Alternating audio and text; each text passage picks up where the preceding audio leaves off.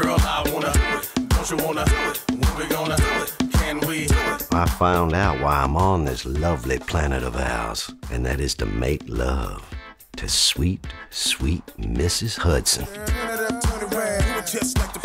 That woman is the supreme empress of bondage, and I am her humble student. I pray in there. That room is a sanctuary. There's no place for God in there.